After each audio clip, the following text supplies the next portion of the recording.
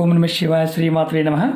మిత్రులకి శ్రీభిలాషులకి అలాగే నన్ను ఇంతగా ఆదరిస్తున్న యూట్యూబ్ ప్రేక్షకులందరికీ కూడా పేరు పేరు ధన్యవాదాలు. మిత్రులారా మీ అందరికీ పరాదేవత ఎల్లవెలలా మీతో ఉండి మీ మనోవాంఛ నెరవేర్చాలని మనస్ఫూర్తిగా కోరుకుంటున్నాను. ఈరోజు మనం సోమవారం నాడు ఈ చిన్న ఉపాయం చేసి చూడండి. మీ ఆదాయం పెరుగుతుంది అప్పుల నుండి బయటపడతారు మీ సమస్యలన్నీ తీరిపోతాయి కుటుంబ సభ్యులు ఒకరి తర్వాత ఒకరు ఏదో ఒక అనారోగ్య సమస్యతో ఇబ్బంది పడుతూ ఉంటే ఖచ్చితంగా ఈ ఉపాయం చేయండి. అలాగే మీ ఆదాయం కంటే ఖర్చు అధికంగా మీకు అవుతుంది. అలా ఉన్నవారు కూడా ఈ ఉపాయం చేయడం వల్ల మీ ఖర్చులు తగ్గి ధనరాబడి పెరుగుతుంది. ప్రతి చిన్న విషయానికి కుటుంబ సభ్యుల మధ్య అధికంగా గొడవలు జరుగుతూ ఉన్నా సరే మీరు ఈ ఉపాయం చేయండి.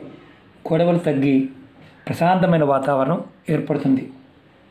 అలాగే ఉద్యోగం వృత్తి వ్యాపారాలలో అంటే మీరు ఏది చేస్తున్నా సరే అది ఉద్యోగం కావచ్చు వ్యాపారం కావచ్చు ఏదైనా సరే వాటిల్లో సమస్యలు తోటి వర్కర్లతో ఇబ్బందులు కావాలని కొంతమంది మిమ్మల్ని ఇబ్బంది పెడుతూ ఉన్నా సరే ఈ ఉపాయం చేయడం వల్ల వాటి నుండి కూడా బయటపడతారు. ఈ ఉపాయం ఆడవారైనా మగవారైనా చేయవచ్చు. ఆడవారు నెలసరి సమయంలో చేయకూడదు. అలాగే ఎవరికైనా మైలు ఉంటే అంటే చనిపోయి ఉన్నవారు ఎవరైనా ఉన్నారనుకోండి అంటే వారి పెద్ద కర్మ అవ్వకుండా చేయవద్దు. అలాగే మైలు ఉండి ఆ మైలు పూర్తి అయ్యే వరకు అంటే మీకు కొంతమందికి ఇరవై ఒక్క రోజులు ఉంటుంది కొంతమందికి పదిహేను రోజులు ఉంటుంది ఇలా మైలు ఉన్న సందర్భంలో ఆ కుటుంబం మాత్రం చేయవద్దు. తర్వాత మీరు చేసుకోవచ్చు. అలాగే ఆహార నియమావళి పాయింట్ ఆఫ్ వ్యూలో ఎటువంటి ఆహార నియమావళి లేదు. ఎటువంటి ఆహారాన్ని ఆ రోజు తీసుకోవచ్చు. స్నానానికి సంబంధించి కూడా ఎటువంటి నియమావళి లేదు.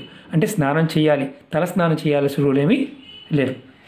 అలాగే ఈ ఉపాయాన్ని ఎప్పుడు చేయాలి ఎలా చేయాలి చెప్తాను.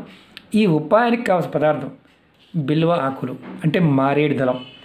మనం శివార్చనకు వాడుతూ ఉంటాం ఆరోగ్యపరంగా వాడుతూ ఉంటాం. అంతకుముందు వీడియోలో కూడా మనం చాలా వీడియోల్లో మనం చెప్పుకున్నాం. మీకు నేను రెండు చూపిస్తున్నాను.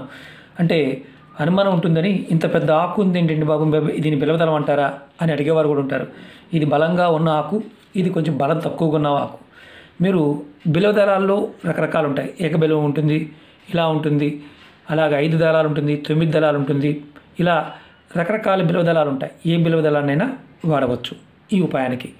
మనం రెగ్యులర్గా వాడేది శివార్చన కోసం. ఇలా మూడు ఆకులు ఉన్న దళాన్ని వాడుతూ ఉంటాం కాబట్టి మీకు అందుబాటులో ఎక్కువగా ఇదే ఉంటుంది కాబట్టి దీన్ని వాడండి. ఈ ఉపాయానికి ఐదు ఆకులు కావాలి. అలాగే చందనం ఎర్ర చందనం. దీన్ని రక్త చందనం అంటాం. ఇది పూజా వస్తువుల షాపుల్లో దొరుకుతుంది. పౌడర్ ఇలా ఉంటుంది.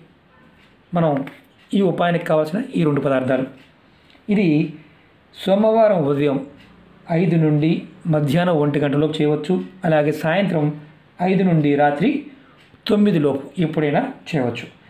ఈ ఉపాయం చేసే ముందు ఖచ్చితంగా స్నానం చేసిన తర్వాత మాత్రమే చేయాలి. స్నానం చేయకుండా ఉపాయం చేయకూడదు. అది గుర్తుంచుకోండి. అలాగే ఈ ఉపాయాన్ని మీరు మీ పూజా గదిలో చేయాలి. మాకు పూజా గదిలో వీలు కాదు అనుకునేవారు శివాలయంలో చేయాలి. ఎక్కడైనా సరే శివలింగం ఉన్న దగ్గర చేయాలి. ఇది గుర్తుంచుకోండి. అలాగే మీరు ముందుగా ఎర్రచందనం రెడీ చేసుకోండి. ఎర్రచందనం మా దగ్గర లేదండి. వేరే వాడవచ్చా అని వాడకూడదు. ఎర్రచందనమే వాడాలి. ఎర్రచందనం పౌడర్ మాత్రమే వాడాలి. అది గుర్తుంచుకోండి. ఒకవేళ మీకు ఎర్రచందనం అందుబాటులో లేదు మారేడాకు అందుబాటులో లేదు చేయమాకండి. ఉపాయం చేయమాకండి. అందుబాటులో ఉంటేనే ప్రయత్నించేయండి ముందుగా మీరు ఏం చేస్తారంటే ఇలా చందనాన్ని రెడీ చేసుకోండి.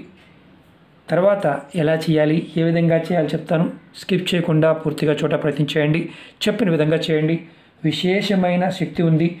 మీ ఆదాయం పెరుగుతుంది. సమస్య నుంచి బయటపడతారు. డబ్బు రాబడి పెరుగుతుంది. అప్పుల నుండి బయటపడతారు. ఖచ్చితంగా వంద పర్సెంట్ గ్యారంటీ. ఎందుకంటే ఈ ఉపాయం అంత శక్తివంతమైంది. ఇది మనం అంతకుముందు మారేడు దళం గురించి బిల్వపత్రం గురించి చాలా ఉపాయాలు చెప్పుకున్నాం. లక్ష్మీ శక్తి కలిగి ఉన్న చెట్టు మారేడు చెట్టు. చాలామంది అడుగుతుంటారు గురువుగారు మారేడు చెట్టు ఇంట్లో పెంచుకోవచ్చా? నిర్భయంగా కుండీలో పెంచుకోవచ్చు. నిత్యము చక్కగా నీరు పోసి ఆరాధన చేసి దీపారాధన చేసి మనం అమ్మవారిని ఆరాధిస్తూ ఉంటే ఇంట్లో ధనం జాతకం ఎలా ఉన్నా సరే ధనం నిలబడి తీరుతుంది. ఖచ్చితంగా. ధనానికి ఎటువంటి లోటు లేకుండా మనం మారేడు చెట్టుని ఆరాధిస్తే మంచి ఫలితాలు వస్తాయి. అంతకుముందు వీడియోలో కూడా చెప్పాను. ఇప్పుడు ఈ విధా ఇది ఈ ఉపాయాన్ని ఎలా చేయాలో చెప్తాను. అలాగే మీకు ఈ వీడియో నచ్చినట్లయితే లైక్ చేయండి. ఛానల్ని సబ్స్క్రైబ్ చేసుకోండి. పక్కనే ఉన్న గంట సింబల్ యాక్టివేట్ చేసుకోండి. పది మంది మిత్రులకి షేర్ చేయండి. అలాగే మారేడు దళాలు బాగుంటాయిలో ఒక్కసారి తెచ్చుకున్నారనుకోండి మామూలు పూజ కోసం మీరు పదిహేను రోజుల వరకు వాడుకోవచ్చు. ఎందుకంటే ఒక్కసారి తెచ్చుకుంటే చాలామందికి అనుమానాలు ఉంటాయి అనుమానం ఉన్నవారు చేయమాకండి అనుమానం ఉంది అంటే అసలు పొరపాటు చేయమాకండి ఎందుకంటే విశేషమైన శక్తి కలిగిన ఈ దళాన్ని పరిపూర్ణమైన నమ్మకం విశ్వాసంతో తెచ్చుకుంటే బయట అమ్ముతూ ఉన్నా తెచ్చుకుని శుభ్రం చేసుకుని పక్కన పెట్టుకుని వాడుకోవచ్చు. ఇది ఒక్కసారి చేసే ఉపాయం. ఈ ఉపాయాన్ని కూడా మీరు చక్కగా మనస్ఫూర్తిగా విశ్వాసంతో చేయండి. ఫలితం ఖచ్చితంగా వస్తుంది. అలాగే చాలామంది అడుగుతున్నారు గురువుగారు మాకు అనేక రకాల సమస్యలు ఉన్నాయండి చెప్పండి అని. మన వీడియోస్లోకి వెళ్ళండి లేదంటే ఛానల్లో ఉన్న ప్లేలిస్ట్లోకి వెళ్ళండి. కొత్త ఛానల్ లింక్స్ కూడా పెట్టాను దాంట్లో కూడా వీడియోలు పోస్ట్ చేస్తున్నాను. ఫేస్బుక్ లింక్ కూడా పెట్టాను దాన్ని కూడా మీరు ఫ్రెండ్ రిక్వెస్ట్ పంపించండి యాక్సెప్ట్ చేస్తాను. ఎందుకంటే నేను మన ఛానల్లో పద్నాలుగు వందల వీడియోస్ ఉన్నాయి. కొంతమందికి నోటిఫికేషన్ వెళ్ళడం లేదని చాలామంది మెసేజ్ పెడుతున్నారు. ఎందుకంటే అల్గార్థం యూట్యూబ్ అల్గార్థం వల్ల కొంతమందికి వెళ్తూ ఉంటాయి కొంతమందికి వెళ్ళవు. కాబట్టి నేను ఫేస్బుక్లో కూడా షేర్ చేస్తూ ఉంటాను. అలాగే దీంట్లో కూడా యూట్యూబ్లో కూడా షేర్ చేస్తూ ఉంటాను. కాబట్టి మీరు సబ్స్క్రైబ్ చేసుకుంటే మీకు త్వరగా మీకు చేరుతాయి. లేదనుకోండి చేరవు. కాబట్టి సబ్స్క్రైబ్ చేసుకోండి. అలాగే ఈ ఉపాయాన్ని మీరు చేస్తున్నప్పుడు ఐదు ఆకులు కంపల్సరీ కావాలి. చిన్నవి కానీ పెద్దవి కానీ. ఐదు ఆకులు తీసుకోండి. ముందుగా మీరు ఆకు పైన చందనంతో మీరు ఒక అక్షరం రాయాలి. మంత్రం అది. నేను చూపిస్తాను. పెద్దాక మీద చూపిస్తున్నాను. శ్రీం అని రాయండి. శ్రీం.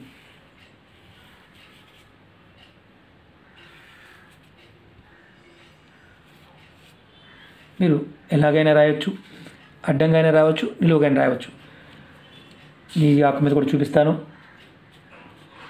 చిన్న ఇది. చిన్నగా రాయండి ప్రాబ్లం లేదు. మీరు ఈ మూడాకులు ఉన్నాయి కదా గురువుగారు మూడింటి మీద రాయాలా? అవసరం లేదు. ఒక్క దళం మీద అంటే ఈ మూడులో ఏ ఒక్క దాని మీద రాసినా సరిపోతుంది.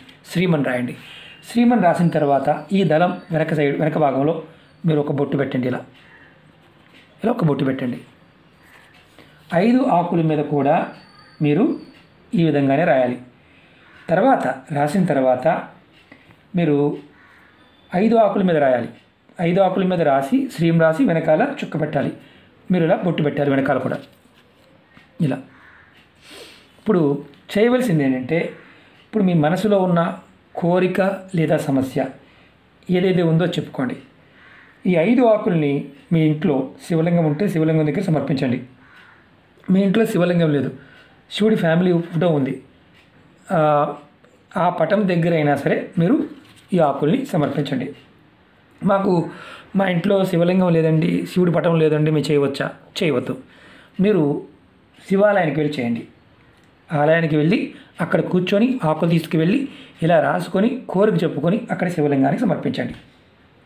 తర్వాత మనం ఐదు కూడా స్వామివారి ముందు పెట్టాం. తర్వాత మీరు ప్రతిరోజు ఎలా అయితే పూజ చేసుకుంటారో ఆ విధంగా పూజ చేసుకోండి. మీ పూజకి దీనికి సంబంధం లేదు. రెగ్యులర్ పూజ రెగ్యులర్గా చేసుకోండి. ఇప్పుడు ఈ ఆకుల్ని ఐదు ఆకుల్ని రోజంతా దేవుడి దగ్గరే ఉంచండి. ఇంటి దగ్గర అయితే దేవుడి దగ్గరే ఉంచండి. అదే దేవాలయం దగ్గర అనుకోండి. ఒక గంట సేపు మీరు వెయిట్ చేసి మీరు పెట్టిన ఆకుల్ని పూజారి గారికి చెప్పి ఆకుల్ని ఇంటికి తెచ్చుకోండి. ఆ తెచ్చుకున్న తర్వాత ఏం చేయాలో చెప్తాను. రెండవ రోజు మీరు ఈ ఆకుల్ని అదే ఇంటి దగ్గర పెట్టి ఉంటే మీరు ఐదు ఆకుల్ని ఒక ఆకుని మీరు మీ బీరువాలో కానీ అల్మర్లో కానీ పెట్టండి.